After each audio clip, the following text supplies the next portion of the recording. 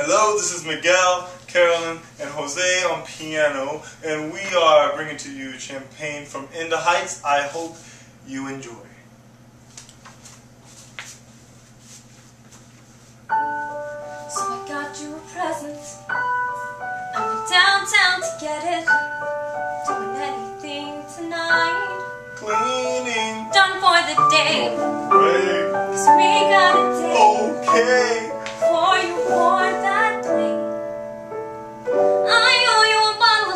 champagne. Nah. Yeah, cold champagne. I Damn, the bottle's all sweaty and everything. You ain't got this. Pop the champagne. I'm over of coffee cups, some plastic cups. I think Sonny has the cups. Tonight, we're drinking straight from the bottle. With Snobby. Yeah. Daniela told me what you did for me.